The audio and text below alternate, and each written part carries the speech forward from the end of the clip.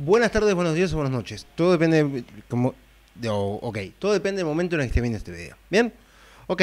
eh, en estos días, mm, en lo que va del mes, básicamente, se han, libera- se han, eh, han- salieron los sticks oficiales de SNK y de Capcom.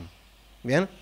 Vamos a ver, primero que nada, vamos, si tú no conoces nada acerca de estos arcade sticks, básicamente nuevos, vamos a hablar un poquito acerca de qué son y si realmente valen la pena. O sea, valen la pena y para qué público están pensados. Bien, Eh, vamos a primero hacer una transición hacia otro lado y vamos a ver. Ok. Esto sería, esto sería prácticamente el Neo Geo Arcade Stick Pro. Bien. Lo que tenemos aquí básicamente es una, es un, es un mando arcade, básicamente, que tiene, en este caso, tiene eh, salida de HDMI. Bien, tiene salida HDMI, tiene entrada para conexión para USB. Bien. Y en este caso tiene incluso salida para audio. O sea, básicamente, este, este en particular lo que nos permite es eh, jugar eh, con los juegos que trae precargados, que trae una especie de una, mini PC adentro, tipo, viene con juegos precargados, con salida HDMI. Pero además también nos permite conectarlo, nos permitiría conectarlos a un, eh, a un a una computadora, una Play 3 o cosas por el estilo, bien. Creo que para Play 3 o Play 4 ese tipo de cosas ya precisas un cable adaptador, pero eso es aparte. Pero nos permitiría funcionar como, en este caso, como una, una consola retro, básicamente, una consola retro con sus juegos cargados adentro, o nos permitiría usarlo como una consola mini. O sea, utilizarlo con, perdón, como un arcade stick normal de toda la vida, ¿bien? Lo interesante que tiene supuestamente es que nos dicen que los mecanismos in- internos, o sea, todo lo que es el repuesto interno son eh, sangua, ¿bien? O sea, lo que son las palancas y lo que son las botoneras son sangua, o sea, son botoneras y palancas de, de la mejor calidad, básicamente, ¿bien? Esto particularmente vale 129 dólares, en este caso, en Amazon, ¿bien? Eh, ok. Podríamos encontrar en algún otro lugar más barato, puede ser de momento, pero de momento yo lo que estoy viendo por lo menos es que no, es- esto está en preorden básicamente, sale el 22 de, noviembre del do- 2019. Eh, se puede enviar a Uruguay supuestamente, ¿bien? Tiene envío a Uruguay, ¿bien? Y aquí tendríamos la competencia que llamamos en este caso es el de Capcom, que es el Arcade Stick, ¿bien? El Home Arcade Stick. Si nos fijamos aquí particularmente nos muestra los 16 juegos que tiene, que serían son juegos clásicos de de recreativa de, de- básicamente de Capcom. Bien pero si nos fijamos la mayoría son de CP1 y CP2 básicamente. No esto ni siquiera es de CP1 esto es anterior de hecho anterior CP1 bien o sea tendríamos Street Fighter 2 el Street Fighter 2 el Hyper Height y el Street Fighter 2 eh, Puzzles Fighters Turbo. Bien o sea que el catálogo, para empezar, vamos a empezar, vamos mal. Final Fight, Ghost and Goblin, bueno, Giga White, Mega Man de Power Battle, eh, Geo Fighters, bueno, pero no sé, pero Capitán Comando no estaría mal en sí mismo, pero es un poco escueto, un poco discreto, ¿bien? Un poco... Está bien, esto de aquí yo los entiendo particularmente, que pongan... Estos quizás son los, los primeros juegos o los más conocidos en su época de Capcom, ¿no? En 1954 era un juego, un juego de naves, bien.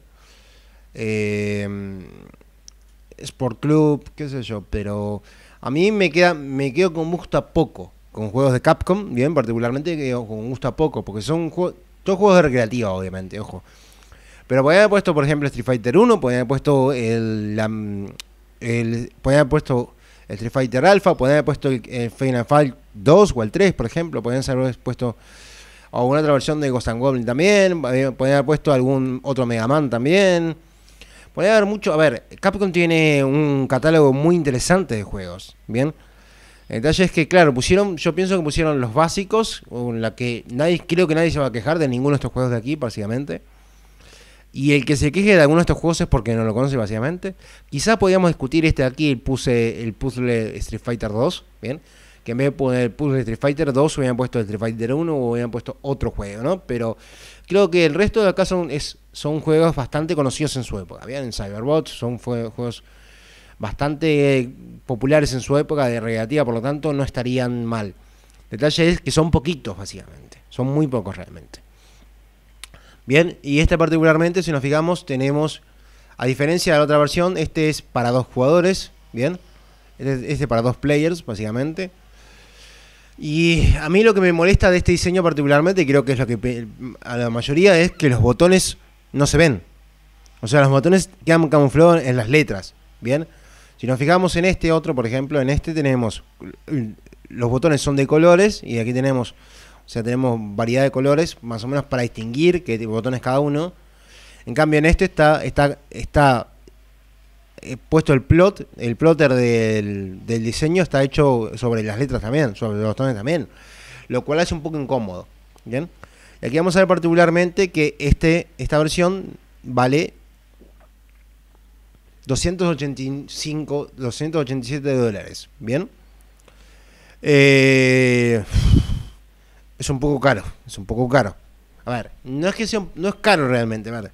Si tenemos en cuenta que, por ejemplo, un eh, un juego, un mando similar de una marca buena como sería Ori o de por ejemplo, aquí tenemos el Mazda, ¿bien? El Mazda de, una solo, de un solo player vale 110 dólares, ¿no? Vamos a buscar un Ori, vamos a buscar, no sé, un... Un Ori, por ejemplo, un Ori. 151 dólares y es un solo jugador. ¿Bien? Eh, vamos a buscar, no sé, algún de otra marca, ¿no? Alguno de otra marca, como por ejemplo, no sé. Eh, lo que pasa es que estos, son estos son copias chinas, básicamente. Eh, estos son Pandora Box y cosas por el estilo, que son cosas chinas. No, pero vamos a buscar uno de una buena marca, por ejemplo. vamos a buscar uno de. Acá tenía ya el de hoy, ya lo habíamos abierto, ¿no? Pero Vamos a ver, un Mazda, por ejemplo, vale 50 dólares. Sí, pero esto es un modelo económico de más, de Mazda, básicamente. Aquí tenemos, por ejemplo, el puro análogo, un otro Ori también para Play 4, 154 dólares. Un Mazda, un, uno para Wii, básicamente, 50 dólares. Pero no tiene pinta que sea muy buena calidad tampoco. Un Mostop vale 275 dólares. Bien. Eh, un MyFly vale 86, 82 dólares, pero es eh, un para un solo jugador. Bien. Y aquí tenemos otro Ori por 159 dólares, también es un solo jugador. Eh, tendríamos que buscar algún Racer, ¿bien? Algún Racer Arcade Stick, vamos a ver. ¿Cuánto vale un Racer? ¿Bien? Eh, Racer Arcade Stick. Vamos a ver. Un Racer de un solo jugador, 192 dólares. Bien. 175 eh, dólares, 199 dólares, 149 dólares. Bueno, aquí este ya sería un MyFly, no es un. Bien.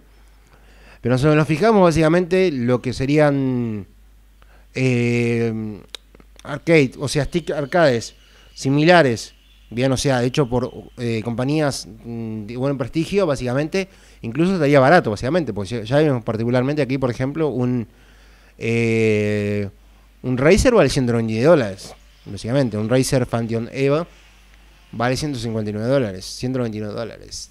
Bien, Ahora vamos a venir, las conclusiones van a venir para este lado, básicamente.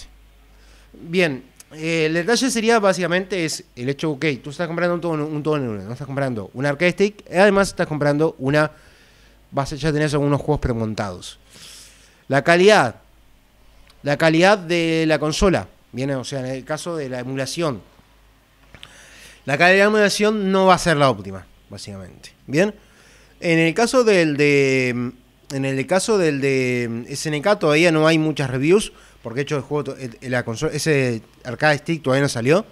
Bien, entonces lo que hay son eh, trailers, hay teasers, tipo de cosas. Por lo tanto, no podemos saber qué calidad tiene los componentes al fin y al cabo, ¿no? Pero por ejemplo, el arcade stick, el, el, Capcom Home Arcade de, de, mm, de Capcom básicamente, ya hay gente que hizo reviews y son, a ver, la calidad de los materiales no es la, no es la mejor, o sea, en este caso lo que es los plásticos son plásticos económicos, baratos. Los, las piezas internas sí, lo que tiene que ver con, lo, con el, el mando arcade y, o sea, lo que es el stick arcade y lo que son los botoneras, sí son, al fin y al cabo, son, eh, son de buena calidad porque son sangua. Bien. Pero lo que es la parte de la emulación es un poco. También.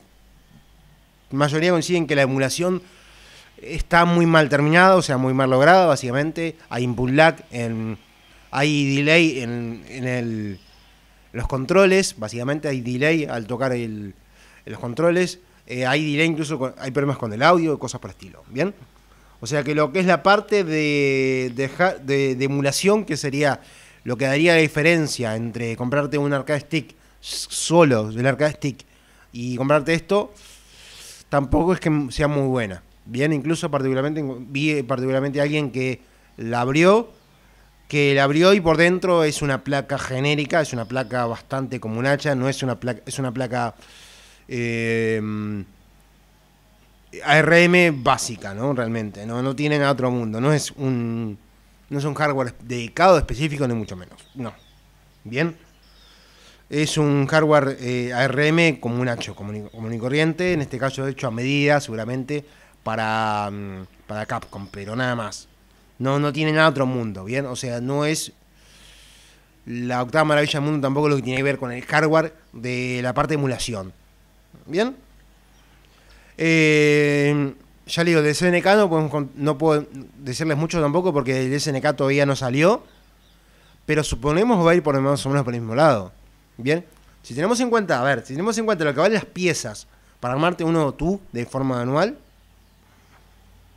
Estamos hablando de que si eso lo está vendiendo a 129 dólares, básicamente es que las piezas, o sea, lo que es la parte de los componentes electrónicos van a estar bien.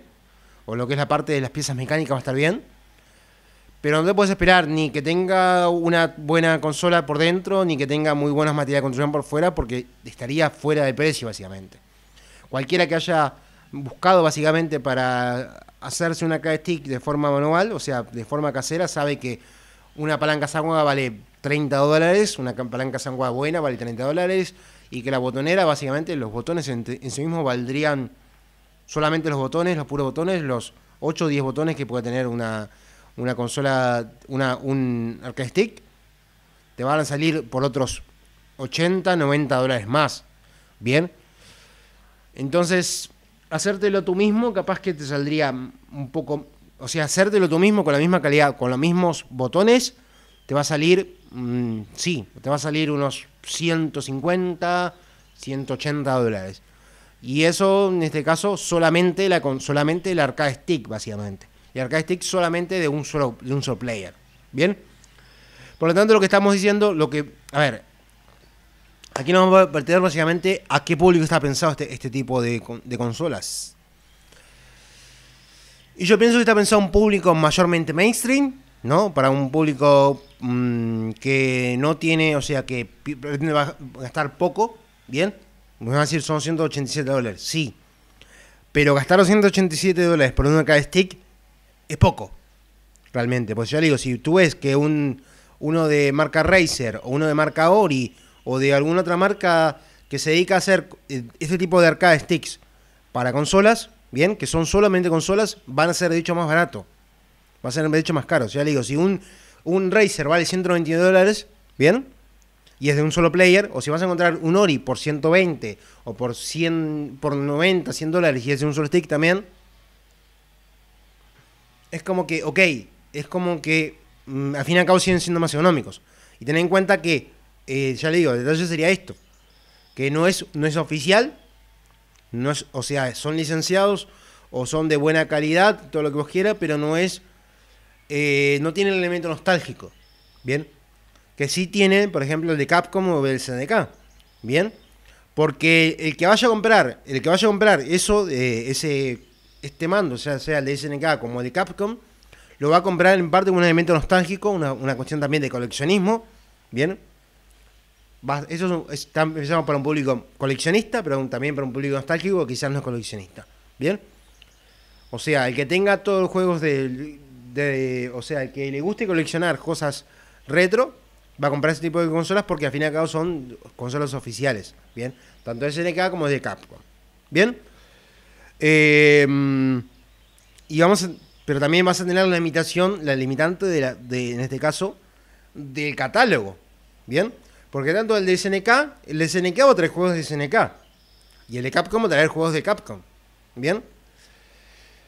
Y lo cual seguramente, si tú sos fanático de la recreativa, seguramente hayas jugado, hayas jugado, eh, eh, hayas jugado recreativas de Capcom, de SNK, de Neo Geo, ¿bien? Hayas jugado eh, Capcom de otras, de otras marcas también, de otras consolas también. Entonces quizás para ti, si tú querés un catálogo un poco más abierto, lo ideal sería quizás un MAME o una... Ya quizás sería la opción de una Bartop con MAME, por ejemplo, ¿no? Que, te permitiría emular muchos, muchas consolas y no solamente las de SNK o las de Capcom. ¿Bien? Porque Capcom tenía tuvo sus consolas aparte, básicamente. En este, en este, en este canal nosotros ya, yo ya, ya tienen, por ejemplo, eh, un video de eh, Street Fighter 3 que salió para la CP3, básicamente, para Capcom System 3. ¿Bien? Bien. Y si a día de mañana, por ejemplo, a, mm, Capcom se le ocurriera hacer una recreación de la, Cap, eh, la,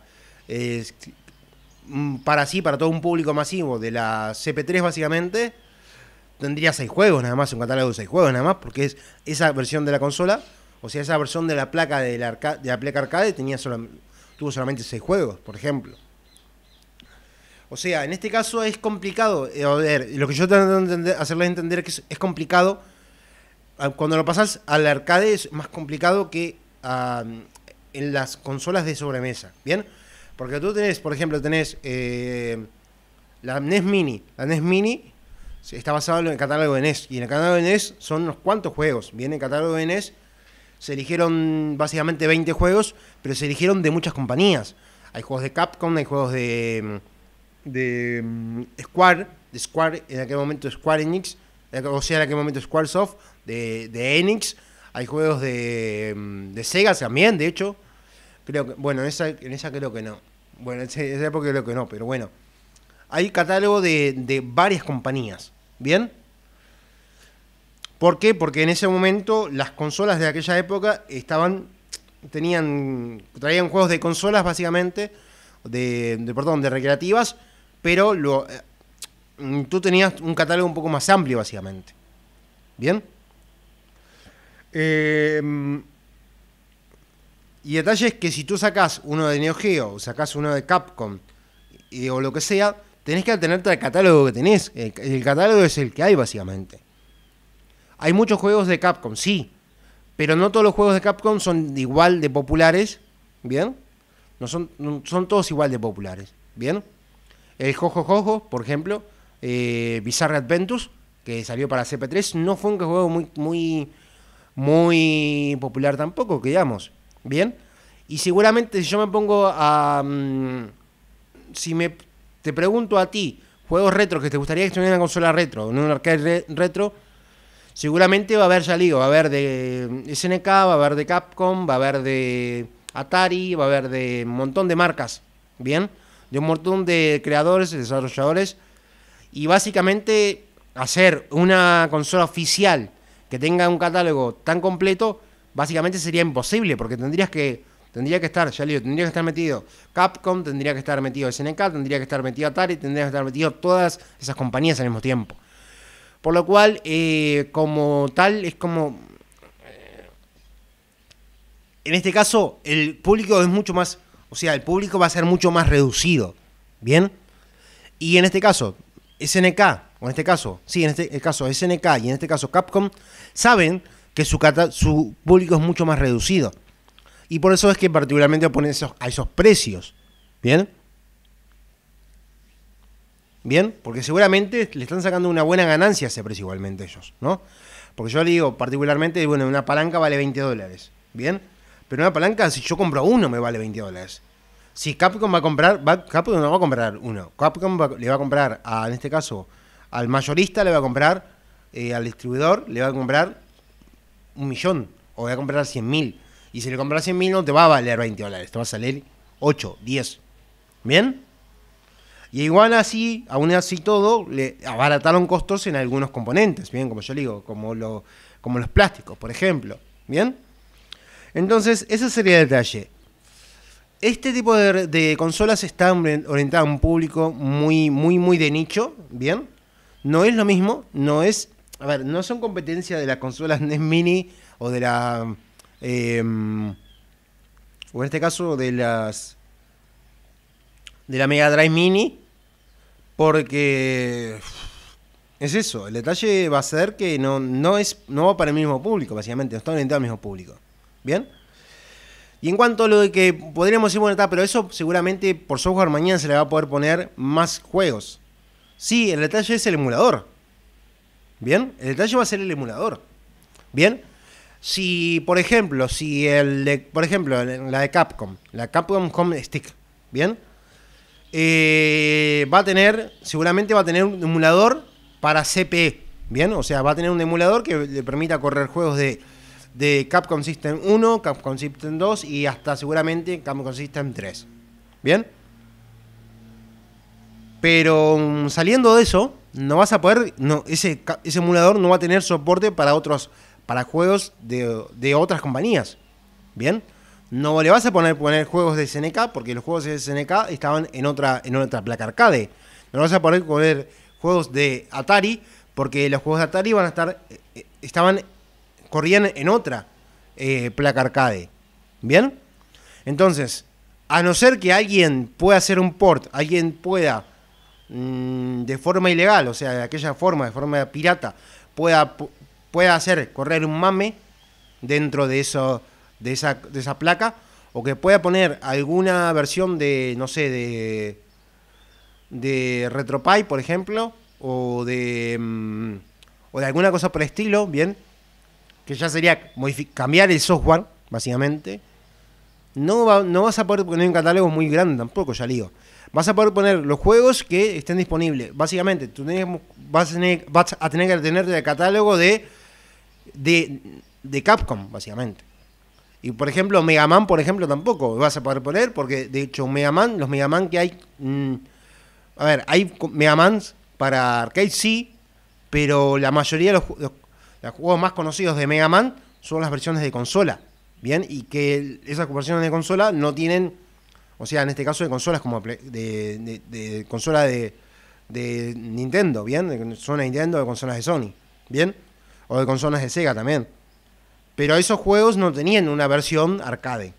Algunos de ellos, muchos de esos juegos no tenían una versión arcade. Algunos sí, pero otros no.